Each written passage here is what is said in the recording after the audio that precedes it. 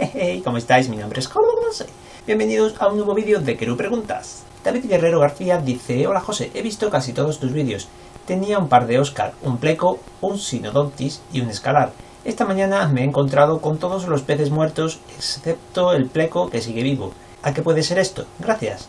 No sabemos cuántos litros tiene tu acuario, por eso, aparte de otras cosas que te voy a decir ahora, quizás eh, tengan razón en los comentarios que te han hecho y sea por falta del aireador y quizás por el tamaño del acuario o falta de cambios de agua. También habría que mirar los parámetros de pH y GH que tenía tu agua, porque claramente hay peces que tienes que son incompatibles. Aparte de todo esto, voy a especificarte algunas cosas más. Podría ser que los oscales también hayan matado alguno de los peces, que sin duda arremeten contra cualquier pez que pudieran comerse y hasta se pueden pelear con peces de su tamaño. El pleco se puede haber salvado por la dureza de su cuerpo y son mucho más resistentes que la mayoría de peces. Un Oscar debe estar en acuarios específicos de solamente peces Óscares. Y para acompañarlo de otro Oscar estaremos hablando ya de idealmente un mínimo de 300 litros o para otro tipo de peces de su estilo más de 400. Por otra parte, el Sinodontis necesita aguas bastante duras, cosa que los otros peces que tenías no. Irving Alcaraz dice, hola señor Acuario, tengo una pecera de 8 litros con 3 peces y un caracol y una bomba de agua. Los peces son dos golfis de 5 centímetros, una cebrita verde y el caracol. Oyes, he tenido peces en esa pecera, pero todos se van muriendo, pero no hay ningún... pero no ha sido ningún golfis, y he escuchado que las cebritas son agresivas. Gracias, saludos desde México. Te han respondido perfectamente. Eh, prácticamente en 8 litros no se podría tener ningún pez, salvo casos especiales por un corto periodo de tiempo, como puede ser un beta en época de reproducción o un pez enfermo. Principalmente los goldfish necesitan 40 litros para cada uno e incluso se recomiendan más de 100 para una pareja. Luego, la cebrita no debe estar sola, sino en grupos y debido a su actividad que sean acuarios por lo menos de 80 litros para arriba, y exclusivamente con peces también activos sin aletas largas. Un error muy común es mezclarlo en acuarios con guppies, cosa que no se debe hacer. Te recomendaría dar tus peces a una tienda o a alguien que los pueda dar un buen sitio hasta que consigas acuarios suficientemente grandes para mantener goldfish por un lado en agua fría y peces tropicales en otro que sean compatibles entre sí. Emmanuel García dice, hola señor diario de un acuario, eh, de antemano, qué buenos vídeos. Esta es mi primera pregunta y última, creo que si todo va bien. Me compraré un acuario de más o menos entre 200 o 250 litros. A mí me encantan los tiburones bala. ¿Cuántos podría poner? ¿Podría juntar un tiburón bala, tiburón cola roja y un Pimelodella pictus en el mismo acuario?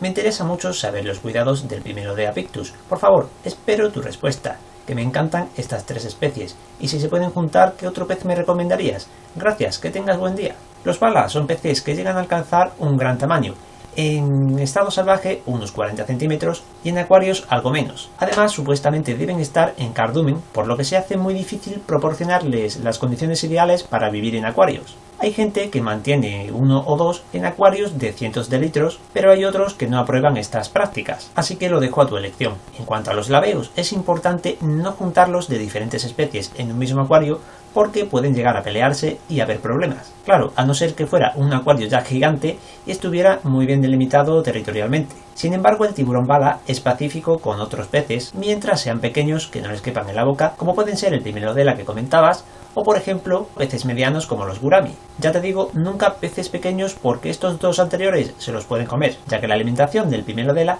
es omnívora y puede comer desde peces pequeñitos hasta vegetales, comida viva, congelada, normal o en papillas. Ángel Daniel Jaime dice, hola José, acá se ve de perfil mi acuario de 240 litros. El tema es que el filtro interno es un Adman Ad F104 2000 litros hora y no puedo bajar más el flujo de agua y es demasiado fuerte. ¿Cómo podría adaptarlo para que no haga tanta corriente y no estrese a los peces y no deforme las plantas y las arranque aunque tengan las raíces fijadas en el sustrato nutritivo? Saludos desde Argentina.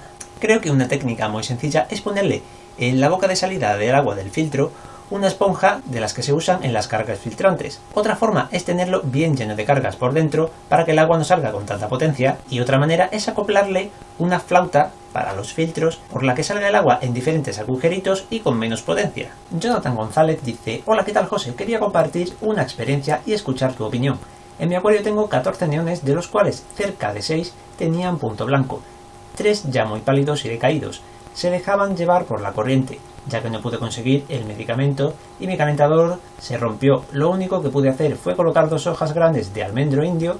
Bastó con una tarde para que los neones pálidos recuperaran su color y vitalidad. Los puntos blancos disminuyeron considerablemente en todos los afectados y todos se ven más activos. ¿Sería una opción tratar el punto blanco con hojas de almendro indio? ¿O a qué pudo deberse la mejoría? Mi acuario es de 70 litros, plantado, sin calentador, con temperaturas de entre 26 y 30 grados, ya que vivo en zona de mucho calor, CO2 casero y filtro externo Resum.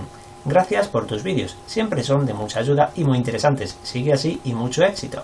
Si la temperatura baja de 26 grados, aunque sea por las noches, eh, hará falta un calentador porque si no eh, exponemos a los peces a un riesgo de tener punto blanco u otras enfermedades. Efectivamente, las hojas de almendro indio actúan como fungicida y antibacteriano ante algunas enfermedades, por supuesto sin afectar al filtro, con lo cual ayuda mucho a enfermedades como el punto blanco, que no quiere decir que las elimine. También te digo que si dejas de usar estas hojas y el acuario no ha estado durante unos días a 29 o 30 grados, el punto blanco seguramente volvería a aparecer. Y dado que tienes neones, te recomendaría seguir usando estas hojas porque son muy buenas para bajar el pH y la dureza del agua ayuda a mantenerlos a raya, además de otros beneficios. Bueno chicos, ya hemos terminado, espero que toda esta información os sirva de mucho y os dejo con uno de mis últimos vídeos en el canal de gameplays. Gracias por verlos y os espero mañana. ¡Adiós! el teclado se ha jodido.